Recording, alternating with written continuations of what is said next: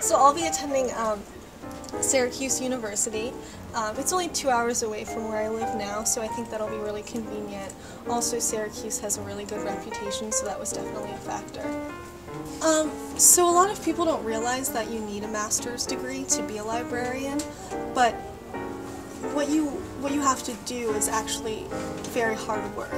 So um, you have to help students learn how to deal with information, and you conduct your own research and figure out ways to better the library system.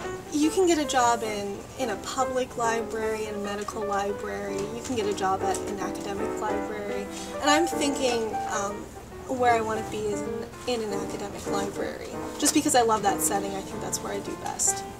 Well, I guess in my free, I mean, what I do at school as an English major, I do a lot of reading, and I think that that's definitely a hobby of mine. Um, I don't think loving to read is the only reason to be an English major. It's definitely not. But, but I, I mean, I love being in school. I consider school a hobby, and also, I mean, besides that, just spend time with the friends that I have here and boyfriend and all of that.